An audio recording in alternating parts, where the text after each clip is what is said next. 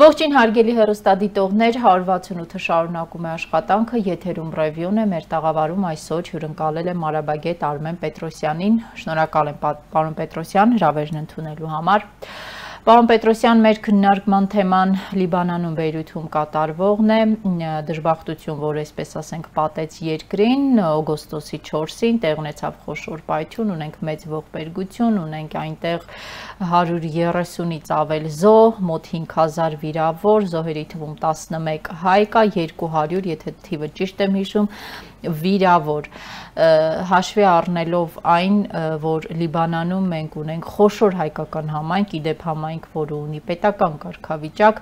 ինչպես եք գնահատում Հայաստանից արձագանքը, դեռ փաստացի օգնություն չի հասել, այնտեղ միայն տրվել են խոստումներ։ Շնորհակալ եմ նախ հրավերի համար։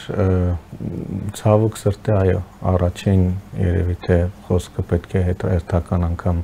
ցավակցական մեր ուղերձները հավենք մեր հայրենակիցներին, ընդհանրապես բարեկամական պետությանը եւ ժողովրդին։ Եթե բուն հարցին անդրադառնամ, ապա ինչ խոսք արձագանքը բավականաչափ այսպես ժամանակին եղավ, հապճեպ եղավ, գոնե հոգեբանական, հա, ռետորաբանական առումով հնչեցին ցավակցական խոսքերի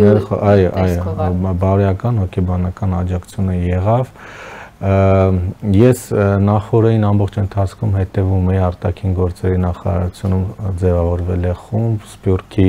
հարցերով հանձնակատարի գրասենյակի հետ են աշխատում, հա, համայնքի հետ ակտիվ կապեր կա, փորձում են գնահատել եւ եթե չեմ սխալվում, արդեն շաբաթ օրը այսօր հնչած հայտարարությունների համաձայն արդեն շաբաթ օրը առաջին թիրախային աջակցություն, հա, պարունակող օթանավակը մեկնի Շաբաթ օրը, պարոն Պետրոսյան, տեսեք, այսօր նախ կառավարության նիստի ժամանակ մեջբեր են վարչապետ Փաշինյանի խոսքը, մենք ուժերի ներածին չափով աջակցություն ենք ցուցաբերելու Լիբանանի կառավարությանը եւ տեղի հայ համայնքին, կառավարությունը արտաքին գործերի նախարարության եւ Սփյուռքի գործերի գլխավոր հանձնակատարի գրասենյակի միջոցով մշտապես կապի մեջ է Լիբանանի կառավարության հետ։ Նախ ինչ ասել է, ինչպես հասկանանք այդ ուժերի ներածին չափով ասվածը, դա ինչ աջակցություն է ֆինանսական, բարոյահոգեբանական եւ եթե համեմատենք Սիրիայից Հայաստան եկած մեր հայրենակիցներին մենք կարողացանք ուժերի ներածին չափով օգնություն ցույց տալ, որ հիմա էլ հույս ունենանք, որ այ Բեյրութ կուղարկենք ուժերի ներածին չափ օգնություն բավականաչափ այսպես բարդ հարց եք տալիս, որովհետև տեսեք, ձեր բարձրացրած հարցը ինքը համակարգային հարց է այսինքն որpիսի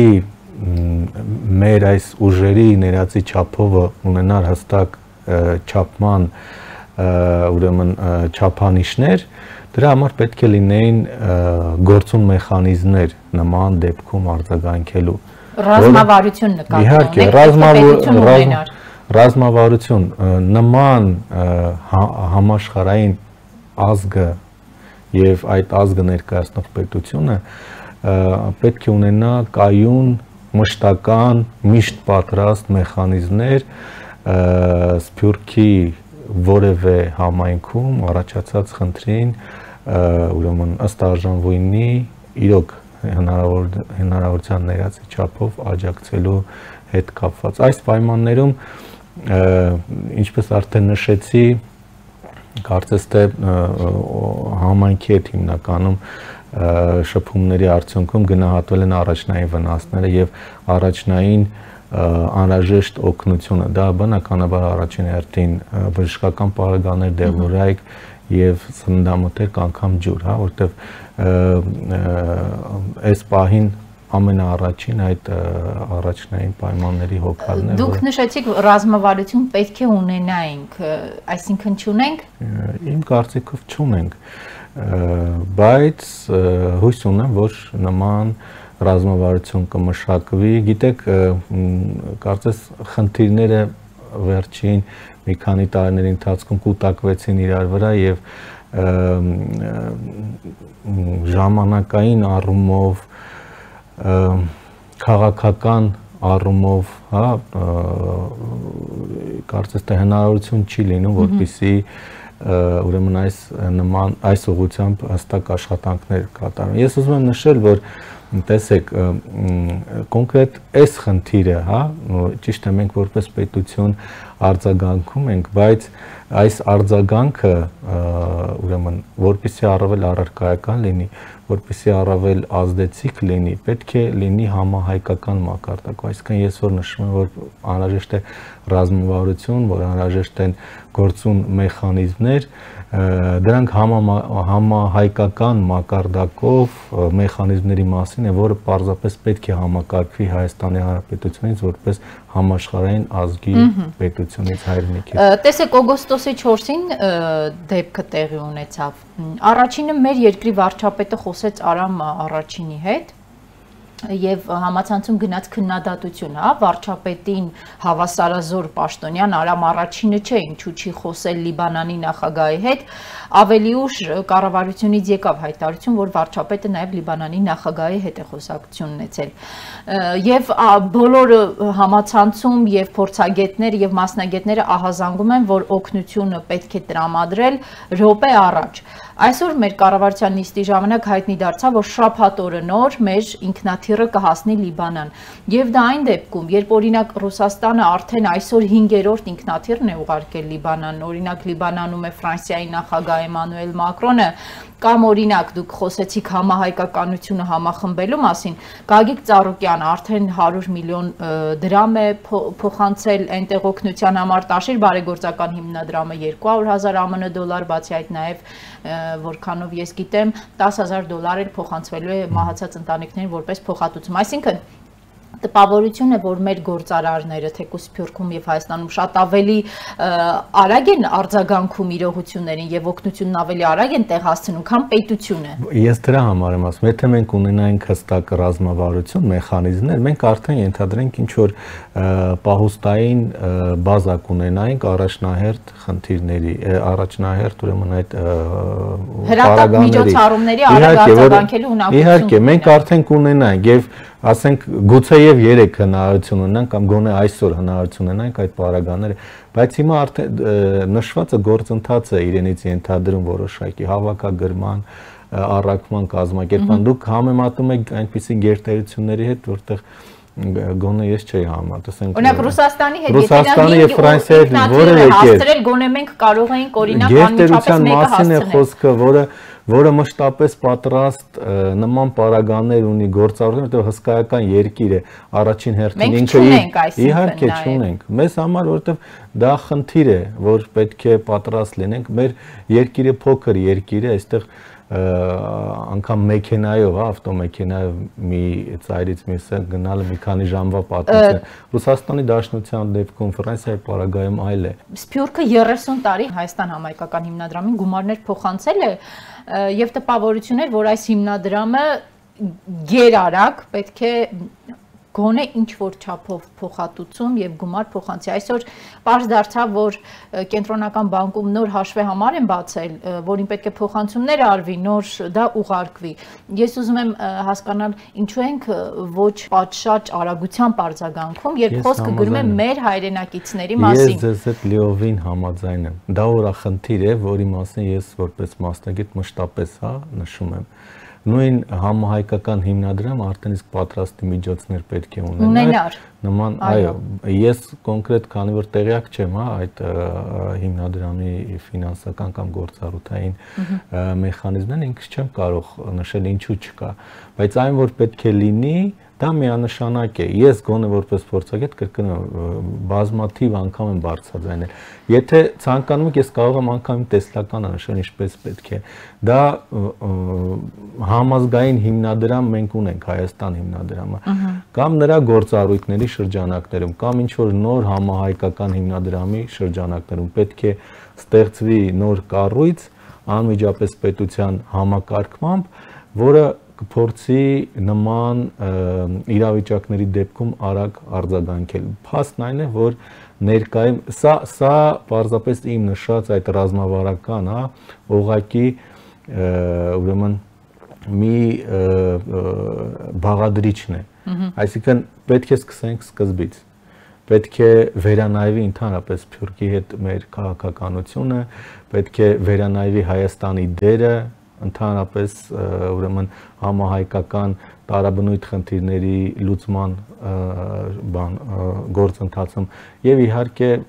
մշակվի հստակ ռազմավարություն գործողությունները։ Պարոն Պետրոսյան, մենք կարող ենք ասել, որ այս դեպքը առհասարակ ցույց տվեց, թե մենք արտաքին աշխարհի հետ ինչպես ենք հարաբերվում։ Ված չենք հարաբերվում։ Ես եթե գնահատում եմ արձագանքները, բավականաչափ բարձր եմ իդեպ Մենք շատ հապճեպ կարողացանք։ Տեսեք, դուք Ինչ արեցինք հապճեպ։ Տեսեք, գոնե գոնե քաղաքական հոգեբանական առումով արձագանքները նորմալ են։ Եթե դիտարկում ենք զուտ զուտ ժամանակային առումով, չէ՞, դեպքը գրանցվեց, պայթյունը գրանցվեց երեկոյան ժամերին։ Ահա հա պետք է հասկանալ ինչ իրավիճակ էր այդ երկրում եւ բնականաբար բուն երկրի ղեկավարների միջև կապ հաստատելը բավականաչափ խնդրահարույց էր դրա համար տեղ ունեցավ վարչապետի եւ ուրեմն Արամ առաջինի կապը հաջորդ օրվանից արդեն բավականաչափ արագ այսպես ձևավորվեց աշխատանքային խումբ եղան դարձյալ հերախոսակապ եղավ, ակտիվ կապ համայնքի։ Դե ես դա եմ ասում, միայն բարոյական մակարդակում ենք օգնություն ցուցաբերել։ Այնտեղ գործ ունենք մեր դուժած հայրենակիցների հետ, պարոն Պետրոսյան, բայց աղետից երկու օր անց միայն բարոյականն է եւ դրա մի քանի անգամ ես արդեն շեշտեցի, շփաթորը նոր մեր ինքնաթիռը կհասնի։ Դե ես էլ ասում եմ, ձեր հարցի պատասխանը այն է, որ մենք չունենք պատրաստի մեխանիզմներ։ Պետք է ունենանք։ Պետք է ունենանք։ Հիմա դառնանք այնտեղ մեր հայ համայնքի խնդիրներին։ Տեսեք, կարծիքները բաժանվել են երկու մասի։ Մի մասը պնդում է, որ ոչ թե պետք է ապահովել հայրենադարձություն եւ այսպես բոլորին բերել Հայաստան, այլ պետք է օգնել, որպիսի իրենք մնան այնտեղ եւ Լիբանանում մենք մեր համայնքը չկորցնենք, իրենք այնտեղ ամրանան օգնել ինչով պետք է, բայց որպիսի համայնքը այնտեղ չդատարկվի։ Դուք որ տեսակետի կողմնակիցն եք։ Տեսեք, դարձյալ հարցը ոչ իմ որոշելիքն է, ոչ ձեր որոշելիքն է, համահայկական խնդիր է։ Դրա հետ կապված այդ նույն ռազմավարության մեջ նաև պետք է լինի առանձին համայնքների հետ կապված համահայկական գործողությունների հերթականությունը։ Պետք է սկսենք նրանից ընդհանրապես, հա, որ մեզ պետք է Լիբանանում, որպեսզի մենք ունենանք, այո, ուժեղ համայնք։ Սկսենք դրանից։ Եթե ինձ որպես մասնագետ հարցնում եք, այո, պետք է եւ համահայկական բոլոր ջանքերը պետք է ուղղեն, որպեսզի այդ համայնքը ոչ միայն այսօրվա խնդիրները թոթափի, այլև ուժեղանա, այլև համալրվի, որովհետև մեր մերձավոր արևելյան տարածաշրջանում մեր համայնքների ուժեղ համայնքների արկայությունը ռազմավարական խնդիր է Հայաստանի Հանրապետության համար։ Սա առաջինը, երկրորդը տեսեք Լիբանանի Լիբանանահայերը առաջին հերթին Լիբանանի Հանրապետության քաղաքացիներ են նրանց տեղափոխման, նրանց հայրենադարձության խնդիրը այսպես կազմակերպված իրականացման մեխանիզմների համար դարձյալ համահայկական ուրեմն ընդհանուր ջանքեր են պետք։ Հայաստանի Հանրապետությունը պետքա ունենա ծրագրեր, առաջարկի ծրագրեր Լիբանանահայերը ինքնուրույն յուրաքանչյուրը իր համար որոշեն պատրաստ են թողնել այն ինչ որ ունեն եւ տեղափոխվել Հայաստան։ Ինչ են ստանալու, օրինակ, չգիտեմ, դե- աշխատանքով ապահովել, տնով ապահովել։ Այո, ներկա իրավիճակի պայմաններում, այսինքն համայնք պետություն հարաբերությունների պայմաններում Հայաստանի Հանրապետության դերակատարումը բացառապես հայրենադարձության ապահովման համար հայաստանյան տարաբնույթ ծրագրերի մշակման տիրույթում է Երբ որ կլինի իմ ասած ռազմավարության արկայություն հստակ մեխանիզմներ, այն ժամանակ արդեն կարող ենք մտածել հստակ գործողությունների մասին, բայց այս պարագային բավականաչափ բարդ է։ Եվ մի կարևոր խնդիր էլ կա, երբ որ մենք փորձում են գնահատել արձագանքները նույն հայրենադարձության մասին տարբեր համայնքներից, մենք տեսնում ենք, որ նույն համայնքային տարաբնույթ կառույցներում դրանք կլինեն կուսակցական, ազգային կամ ուրեմն կրոնական եկեղեցական կառույցներում միանշանակ չեն։ Կառույցներ կան, որոնք պնդում են, որ իրենց համայնքը, իրենց հետևորդները, գաղափարակիցները պետք է մնան մնան իհարկե, որովհետև դրանով ապահովում է իրենց ներկայացած կառույցների գործունեությունը։ Այսինքն բազմաշերտ խնդիրներ են եւ դա դրա լուծման համար խորքային, այսպես լուրջ վերլուծություն ուսումնասիրություններ են պետք բայց այն որ այս պայմաններում Լիբանանահայությունը եւ ոչ միայն այս վերջին մի քանի ամիսների ընթացքում գոնե ես բոլոր իմ հրաապարական ելույթներում նշել եմ որ անհրաժեշտ է համահայկական ջանքերի համախմբում Լիբանանահայության օգնելու։ Ասում եք ձեր վերջին մի քանի ամիսների ելույթներում նշում է նշել եք այդ մասին հետաքրքիր է Սփյուռքի գործերի հանձնակատար Զարե Սինանյան ինչպես է արձագանքել։ Դե ես չգիտեմ իրենք մշտադիտարկում երբ հետևում եք այդ կառույցի գործունեությանը, հա, ինչպես է արձագանքում իրողություններին, ինչ գնահատական եք։ Դե դրա համար եմ ասում վերջին 2 տարին այս նոր իշխանությունների ձևավորման գործընթացում եւ հատկապես սփյուռքի ոլորտը, հա, լուրջ փոփոխություններ կրեց եւ գրասենյակն էլ ինքն էլ կարծես ձևավորման փուլում էր եւ հստակ գործելավոճ կարծես թե դեռևս չկար, հա, ընդամենը մի քանի օր առաջ եւ աշխատակից այո նախին վարչության պետեր եթե չեմ սխալում այո ազատ այսինքն կարծես թե նոր նոր է ուրվագծում կառույցի գործունեությունը այսինքն այն որ այդ ռազմավարությունը չկա գուցե դա նաեւ հետևանք է նրա որ այդ կառույցը իր ռազմավարությունը չունի աշխարհի հետ հարաբերվելու գուցե եւ չունի տեսեք եթե ես լինեի հա որոշում կայացնող նախ ես կփոխեի Մա եթե դուք լինեիք Սփյուռքի գործերով գլխավոր հանձնակատարը ինչ կանեի Նախ եւ առաջ ձեզ ասեմ որ առաջին հերթին կփոխեի մարմնի անունը ես ուզում եմ մեջբերեմ իմ ուսուցչի խոսքերից մեկը, նա միշտ նշում է, չնայած ես էլ հաճախ սպյուրքն եմ կիրառում եզրը, բայց ասում են ազգը որ ունի պետություն, չունի չի կարող ունենալ սպյուրք, ունի համայնքներ, հա։ Ես օրինակ այսպեսի մի անվանում կտայի պայմանական, հա, համահայկական խնդիրների համակարգման ինչ որ կենտրոն, պետական մարմին։ Առհասարակ նախարարությունը գրասենյակի վերապրելը որքանով էր արդյունավետ։ Այստեղ տեսեք որն է կարևորը պետական մարմնի իմ պատկերացմամբ պետական մարմնի իրավական եւ գործառութային ձևաչափը պետք է լինի որոշակիորեն սահմանափակ։ Շատ ավելի մեծ գործառույթներ պետք է ընձեռնվեն այդ կառույցին կից կամ այդ կառույցի հետ համագործակցությամբ հասարակական բնույթի, համահայկական բնույթի ինչ որ մարմնի ձևավորման համար դիցը օրինակ նշեցինք համահայկական հիմնադրամ կամ նոր ինչ որ կառույց, հա, որովհետև տեսեք ամեն դեպքում մենք գործ ունենք Սփյուռքի հետ իսկ Սփյուռքը կամ Սփյուռքի համայնքների անդամները դրանք որևէ երկրների քաղաքացիներ են եւ պետական մակարդակով աշխատանքները որոշակի հարթությունում կարող է դիտարկվել որպես միջամտություն տվյալ երկրների ներքին գործերին բայց երբ որ արդեն հասարակական մակարդակով է դա իրականացվում հա նշածս համահայկական կառույցի, որին էլ անգամ կարող ենք ինչ որ պատմական անվանում տալ մեր թակավորներից կամ թագուհիներից մեկի անունը, որը բավականաչափ հնչեղ կլինի եւ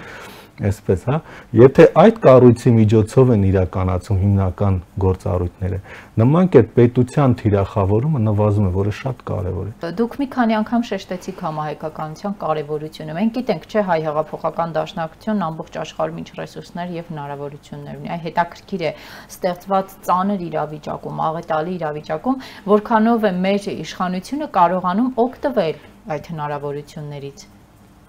փորձանում է օգտվել թե ոչ։ Ես ես ինչպես հասկանում եմ փորձեր արում են անշուշտ օգտվելու համենայն դեպս նման իրավիճակներում կուսակցական, քաղաքական, նեղ գաղափարական, հա, տարաձայնություններն անշուշտ մի կողմ են։ Քարփեշից թափում եւ օգտվում են։ Բնականաբար իհարկե, ինչ բոլոր հնարավոր մեխանիզմները։ Մենք այսօր երկխոսության դեպքում Հայաստանի Հանրապետության եւ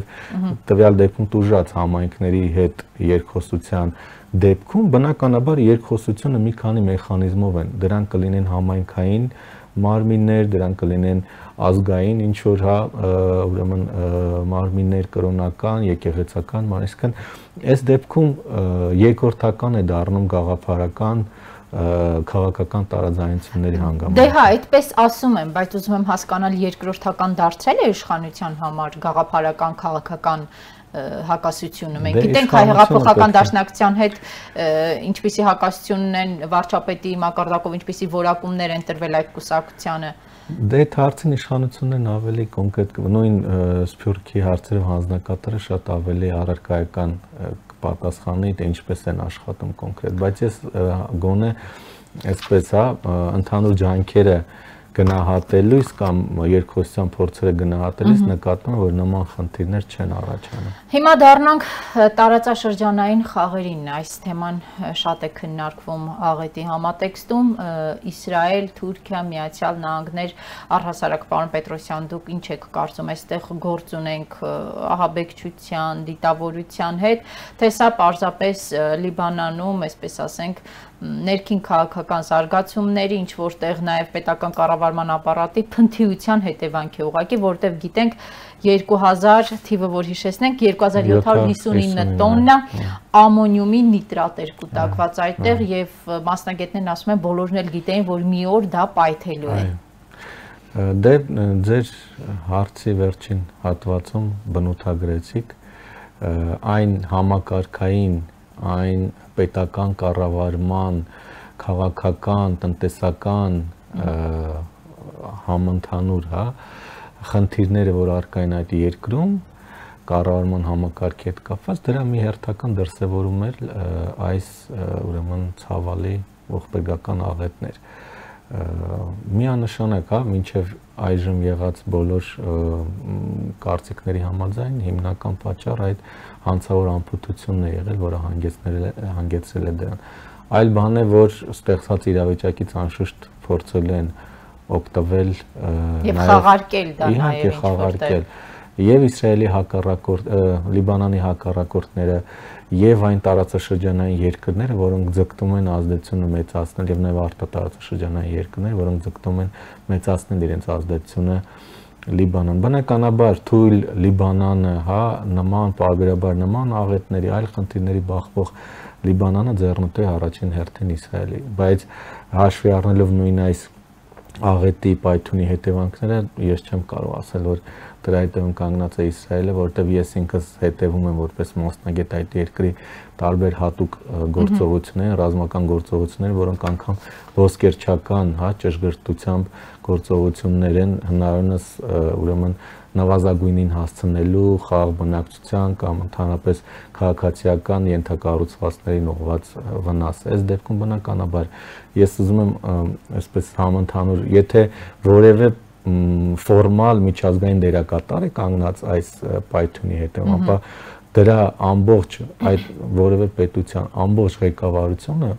ղեկավարությունը սպառնում է միջազգային տրիբունալ, սա պետք է փաստենք, այսինքն սա մարդկության դեմ իրականացվող հստակ գործունեություն, որը պետության խաղաբնական։ Տեսեք, Իսրայելի մասնակցությունը ինչ որ առումով դուք բացառում եք, հետեւաբար օրինակ Միացյալ Նահանգների նախագահի հայտարարությունը ցավակցական խոսքին զուգահեռ ասում է ամերիկացի գեներալները կարծում են, որ Բեյրութի վրա հարձակում է տեղի ունեցել։ Դե այսինքն Միացյալ Նահանգների նախագահի կողմից հաճախ են նման հայտարարություններ հնչում, հետո ամբողջ պետական համակարգն ընկնում եւ փորձում է խմբագրել նման հայտարարություն։ Ես կրկին ասում, ես ինքս իհարկե միանշանակորեն չեմ, ես Հայաստան նստած չեմ կարող գնահատել այնտեղ ինչ է տեղի ունեցել իրականում, բայց մեծ հավանականությամբ արտաքին դերակատարի ֆորմալ դերակատարի պետալ պետակին որևէ պետության միջամտություն ամենայն դեպս ես չեմ կանխատեսում գուցե ահաբեկչական որևէ կառույցի կամ հստակ ահաբեկչական գործողության հնարավորությունը շատ սա շատ ավելի հավանական է որովհետև կրկնում պայթյունի հետևանքները որևէ ֆորմալ դերակատարի ձեռնտու չեն եւ շատ թանկ կարժենան, եթե դրա հետ դրանց հետևում կանգնած է։ Այնուամենայնիվ ձեռնտու չեն, բայց շահարկումները արդեն կան, հետաքրքիր է աշխարհը քաղաքականն է բախման կետում հայտնված Լիբանանում էսկալացիան միջև ուր կարող է հասնել։ Շատ կարևոր հարց եք տալիս։ Տեսեք, մի բան ակնհայտ է, որ դեռևս վերքերը տաք են եւ այսպես կարծես թե քաղաքականությունը մղվել է երկրորդ պլան, այո բայց այս հետևանքների գոնե առաջին փուլի թոթափումից հետո բնականաբար ողջ գործընթացները առաջին հերթին տեղափոխվել են քաղաքական հարթություն ընդ որում ինչպես Լիբանանի ներքաղաքական հարթություն, այնպես էլ արտաքին, որովհետև եւ երկրի ներսում գործող իշխանությունների հիմնական ընդդիմությունը շատ ավելի ուժեղացնելու է ճնշումը իշխանությունների նկատմամբ, որովհետև գիտենք, ես նշեցի առնվազն վերջին 9 ամսվա ընթացքում այս երկիրը շատ խորքային ներքաղաքական, տնտեսական, ֆինանսական, նաև փետրվար մարտից առողջապահական ճգնաժամում է եւ աղքատությունը, աղքատության մակարդակը 50%-ից ավել է, հա, արդեն պետական արժույթը եթե չեմ սխալվում 80%-ի չափով արդեն արժեզրկել է վերջին մի քանի ամիսների ընթացքում փաստացի երկիրը դեֆոլտ հայտարարեց, այսինքն անվճարունակ չկարողանալով իր պարտքերը, այո, դրան գումարած, տեսեք, ես միշտ նշում եմ, որ այս իրավիճակից Լիբանանի դուրս գալու համար երկու հիմնական գործողությունների ուղղություն է պետք։ Առաջինը բավական զգալի ֆինանսական աջակցություն եւ երկրորդը երկրի ներսում բարեփոխումներ հա այդ եղած համակարգային խորքային խնդիրները ամենուրեք արմատավորած կոռուպցիան ուրեմն արմատախիլ անելու համար։ Երբ ասում եք ֆինանսական օգնություն, դա ենթադրում է արդյոք որ առանց արտաքին խաղացողների դա հնարավոր չէ։ Դրա համար եմ ես ասում, որ սկսել ենք արդեն շատ մոտ ապագայում տեսնել ենք լուրջ խաղացողների միջև սակարկություններ, անգամ բախումներ այստեղ Լիբանանի հիմնական արտաքին հովանավորները դրանք իսկ դրանք եղել են մի կողմից Սաուդյան Արաբիան, հա, արաբական երկրներից, մյուս կողմից հիմնականում Ֆրանսիան, Միացյալ Նահանգները, իսկ ուրեմն տարածաշրջանային մեկ այլ երկիր էլ Իրանն էլ աջակցել է Լիբանանի շիայական համայնքին։ Հիմա այս վերջին շրջանում Իրան, Արևմուտք, Իրան, Իսրայել, Իրան, Միացյալ Նահանգներ այս համակամարտության համատեքստում, հատկապես վերջին ամիսներին, երբ խորքային խորացել էր ներքաղաքական ճգնաժամը, այս արտաքին աջակցության դիմաց միշտ պահանջում էին Հիզբալլահի արտաքին դերակատարները հիմնական ֆինանսական աջակցություն ցուցաբերող միշտ պահանջում էին մշտապես պահանջում էին Իրանի եւ Հիզբալլահի դիրքերի թույլատրում իսկ այս կառավարությունը փաստացի լուրջ աջակցություն է ստանում Հիզբալլահի կողմից, հետո նաեւ Իրանից։ Իրանի ազդեցությունը, բայց Իրանը այսօր չունի անհրաժեշտ ֆինանսական միջոցներ, որպեսզի ներդնի։ Շարունակի դա եւ ամերիկյան հակազդեցությանը կդիմանա թե չէ այս հարցով Իրանը։ Հենց այստեղ է որ լուրջ գործընթացներ են սպասվում այսինքն մենք տեսնելու ենք լուրջ բախում դերակատարների Միացյալ Նահանգներ, Իրան, Սաուդյան Արաբիա, Լիբանանի գործող իշխանություններ, Սաուդյան Արաբիա, Իրան եւ գիտեք մի շատ կարևոր նրբություն եմ ուզում նշել այս իրավիճակից ես շատ վատ կանխատեսում ունեմ որ կարող օգտվել Թուրքիան որտեղ Թուրքիային միշտ հիմնական դերակատարը Լիբանի դեր արտաքին դերակատարները լիբանանյան գործընթացին փորձում են դուրս թողնել Թուրքիային որտեղ հասկանում են նրա հավակնությունները ընդհանրապես ամբողջ մուսուլմանական աշխարհում, նաև արաբական աշխարհում եւ փորձում են անընդհատ դուրս թողնել եւ Թուրքիան փորձում էր այսպես տակից, ներսից, ներքին տարբեր համայնքների հետ, տարբեր խմբերի հետ, հա, աշխատելով էր փորձում իր ազդեցությունը մեծացնել։ Իսկ հիմա երբ խնդիրը բախվել է բարձրացել է, հա, այսպիսի մակարդակի, երբ հիմնական առանցքային դերակատարների միջև կա նման լուրջ մրցակցություն, լուրջ հակասություններ, Թուրքիան կարող է օգտվել, քանի որ Լիբանանի իշխանությունները, ինչպես արդեն նշեցի, ունեն զգալի ֆինանսական աջակցության կարգ եւ կարող է օգտվել։ Իդեպ ներողություն նշեմ, այս համատեքստում հետաքրքիր համագործակցություն կարող է լինել Թուրքիա Կատար, հա, որտեվ Կատարը արաբական աշխարհում լինելով Պարսից ծոցի արաբական երկրների հիմնական դերակատարների հետ հակամարտություն ունեցող երկիր եւ հիմնական հիմնականում Թուրքիայի կողմից եւ Իրանի կողմից մասամբ աջակցվող երկիր, արաբական երկրներում որոշակի առումով հատկապես այդ թեժ երկրներում ներկայացնում է Թուրքիայի շահերը։ Եվ մենք տեսանք, որ վերջին երկու օրին բավականաչափ ակտիվ է Կատարը եւ չի բացառում, որ Թուրքիա-Կատար այս համագործակցությամբ Թուրքիան փորձի ուժեղացնել իր դիրքերը Լիբանան, որ անշուշտ խնդիր է նաև Հայաստանի։ Հայաստանի եւ հայկական համայնքի համար իդեպ երբ դժգոհում էին, որ Հայաստանի կառավարությունը արագ չի հասնում օգնության իր հայրենակիցներին, նաև դա ասում էին հա, այն համատեքստում, որ պետք է դա անել շատ ավելի արագ, քան կանի Թուրքիան, որտեղ Թուրքիան ինքը եւս պատրաստակամություն է հայտնել օգնություն տրամադրելու։ Եվ վերջում, պարոն Պետրոսյան, դուք առաջարկել եք Հայաստանից տարվող օգնության վրա ունենալ արտադրված Արցախում մագնշումը ինչու։ Ընդհանրապես ես կարծում որ պետք է մեծացնել Արցախի սուբյեկտայնությունը։ Իսկ եթե մենք խնդիր ունենք Արցախին ներկայացնելու որպես ինքնուրույն սուբյեկտ, ապա բոլոր հնարավոր ուրեմն իրավիճակները պետք է օգտագործենք դրա համար այս պարագայում սա հստակ ուրեմն հնարավորություն է ճիշտ է վատ է երբ որ դժբախտության այո բայց այնուամենայնիվ տեսեք արցախյան հակամարտությանը նույն լիբանանահայությունը զգալի աջակցություն է ցուցաբերել հա եւ ինչու ոչ ինձ թվում է գոնե մեր հայրենակիցը լիբանանում բավականաչափ ողջորված կլինի եւ տեսնի որ այո բացի այդ տեսեք եթե մեր ցուցաբերած աջակցության ինչ որ ձևաչափում մենք ունենք ծրագրեր գոնե առ ժամանակ, հա, մի քանի շաբաթով բերելու այստեղ տանիքից զրկված մեր հայրենակիցներին կամ այլ լիբանանցիների, այստեղ կարևոր է նաև Արցախին ներառելու հանգամանքը։ Բնակեցնել Արցախում։ Իհարկե, տանել մի քանի երկու շաբաթ, երեք շաբաթ, որքան որ դա հնարավոր կլինի, հա, որքան ծրագիրը կներառի։ Այս առումով շանս է բացվել Հայաստանի։ Իհարկե, ես կարծում եթե մենք ունենք, դա էլ եմ ասում, եթե մենք ունենք ուղեգից Արցախի սուբյեկտայնություն ընդգծելու,